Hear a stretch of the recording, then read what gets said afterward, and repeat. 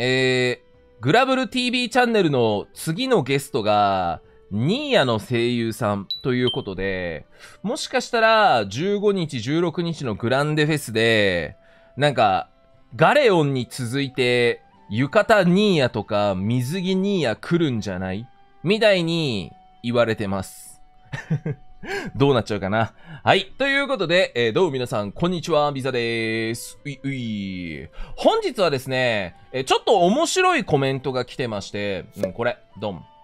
リミットボーナスの振り分け方を攻略サイトで見たのと同じにしても強いのか、楽しいのかと思うっていうのはどうでしょうか？楽しいのかと思うっていうのはどうかはちょっとあれなんだけど、うん。クリティカルは必ず3つ上げるのが推奨されてますが、僕は2つにしておいて他のところを上げたりしていますと。はい。まあちょっと今回、リミットボーナスの振り分け方というか、クリティカル LB について今回は語っていきたいかなっていうふうに思ってて、確かね、4、5年前に1回説明したっきりだったかなっていうような感じなので、まあちょっと今回改めてリミットボーナスの振り、まああとクリティカル LB についての話をしていきたいなというふうに思っております。はい。で、まあクリティカル LB って、まあぶっちゃけ初心者のめっちゃいいお供なんですよ。そう。初心者のめっちゃいいお供なんだけど、強くなってくると、あんまり振らないことが多いっちゃ多いっすね。まあ俺はだけど、うん。あんま振らないことが、俺は結構多くて、まああの、あんま、こうやって振られてない状況を見ることが多いなぁと見直しながら思ったわけですが、はい。まあちょっと今回はそのクリ LB について話していきたいと思います。結構でもゲームウィズさんとかは初心者向けの攻略を歌ってると思うというか、初心者向けに説明してるから、例えばサブリナとか見てないけどね、クリ LB とかおすすめ LB で振ってんじゃないかな。あんまり振らないですね。強くなってくると。特にサブリナとか、ペンギーとか、このあたりあんま振らないっす。うん。まあでもそれは、あの、強くなってからなので、まあどっちが正しいとか俺は正直ないと思ってますけど、うん。まあ役割だな。はい。ちょっと、じゃあ今回は説明していきましょう。うん。で、えーまあ、まずクリ LB についてなんだけど、まあ、たまにコメントであるのが、俺は装備クリティカルしてるから、装備でクリティカル確定にしてるから、クリ LB を振らない。みたいなやつだね。うん。クリ LB って個別で計算されるクリティカルなんで、あのまあ、まずはじめに言っとくと、装備でクリ率100%にしても、ここのクリティカル確率の強化は振る価値があります。はい。装備でクリティカル確率を、えー、上げて100%にした後に、このクリティカル LB を振ると、まあ、まずクリティカルが確定して火力が1.5倍になるじゃないですか。1.5倍になった後に、こっちのクリティカルハンデ追加でポーンってされて、よりダメが伸びるんで、まあ、まず基本的にクリー確率の強化は、装備でクリティカル確定にしていたとしても、振っても大丈夫です。はい。うん。で、もう一個、倍率と確率について。俺、これ、勘違いされてるのパート2として、火力1.5倍になる。クリティカル発動率が上がって、発動したらクリティカル率が1.5倍になるっていう、まあ、装備クリティカルと似たような状況になるんじゃねっていう風に考えてる人もいるんだけど、このクリ率強化は、えー、発動率と倍率が、星を上げると共に上がっていくんですよ。うん。で、小だと、12%だったかな確か。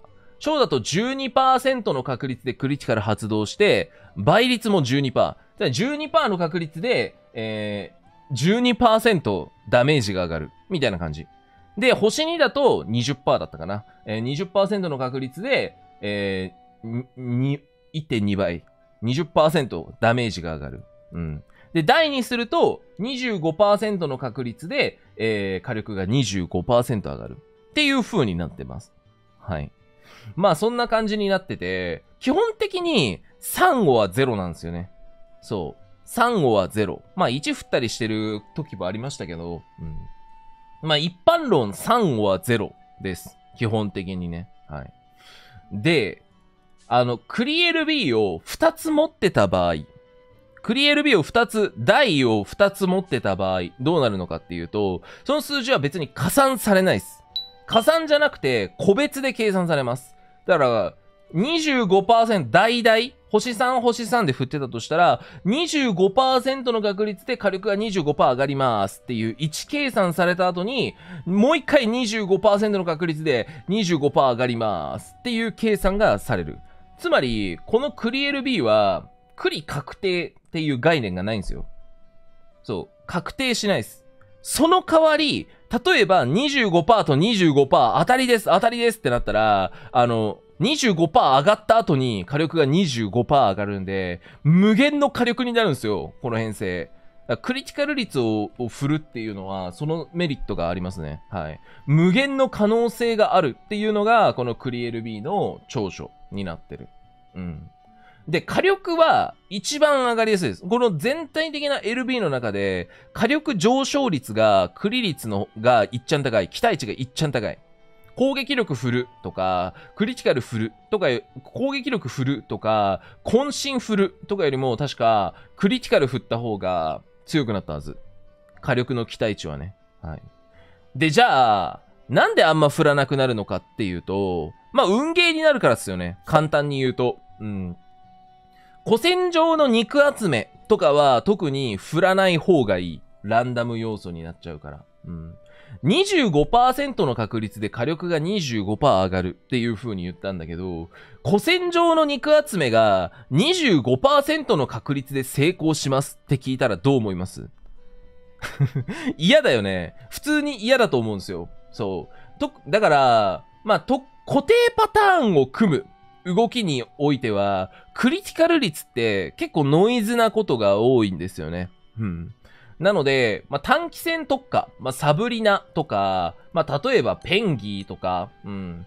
まあ、こういったようなキャラクターを、まあ、古戦場の肉集めで使えますよっていうようなキャラクターは、あの、基本的にクリティカルは強くなってくると抜けてくる。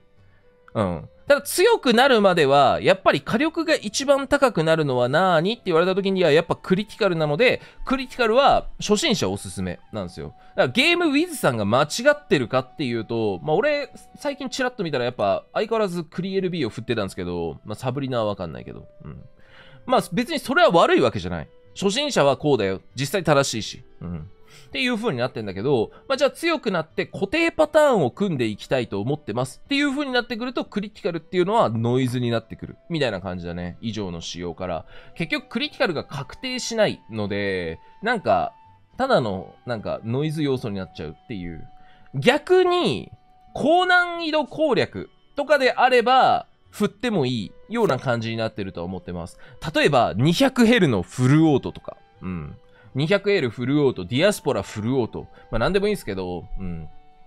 サティロスってクリ LB ないんですよね。申し訳ないんですけど。サティロスにクリ LB があったら、俺はクリ LB を振ってたと思う。うん。古戦場の200ヘルって、まあ、て、元々の防御値がすごい高いっていうのもありつつ、うん。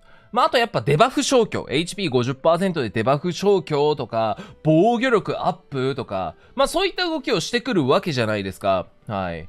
そういった時にですね、まあ、あの、そのために、ぶち抜くための火力がちょっと必要だったりするんですよ。うん。まあそういう時はマジで猫の手も借りたい、みたいな状況になりがちなので、まああの、こうな、なんかフルオートとかでも、俺はクリティカル LB を使ったりするパターンはある、みたいな感じになってるかな。えー、長期戦になるんだったら、もしくは高難易度で戦うよとか、そういう状況だったらクリ LB は結構振ってもいいかなっていうような感じ。逆に、あの、ワンターン討伐、短期戦とかの、なんかささっと終わりますよ、みたいなボスに対しては、あんまりクリエル B とか振っちゃうと、まあ、運ゲーになっちゃう。例えばじゃあトライアルバトルで肉集め倒せたわーっていう風になっても、それってクリティカル LB で倒せてますやんみたいな状況になってたら、まあ実戦だと失敗しちゃったりするよね。うん。だから、クリエル B っていうのは基本的には、まあ、ワンターン討伐とかだったら最終的には振らなくなる。みたいな感じかな。まあ、強くなってくるとやっぱこうやって振らなくなっていくことは多いんじゃないかなとか思ったりはする。はい。まあ、イルノートとかも高難易度で使いがちだけど、まあ、高難易度の手動で確実に敵をしばき回します。っていう風になってくると 振らなくなったりする。みたいな感じだね。うん。まあ、イルノートも結構昔の振り方してるから どういう風になってるのかわかんないけど。はい。まあそんなこんなで、えー、まあこちらの、えー、クリエル B についての解説でした。はい。まああの肉集めとかのキャラは、まあクリエル B は引っこ抜いた方がいいよっていうのが、まああの運ゲー要素を排除するなら必要かな。みたいな、そんな感じでした。参考になれば幸いでございます。ほな、またお会いしましょう。じゃあね、バイバイ。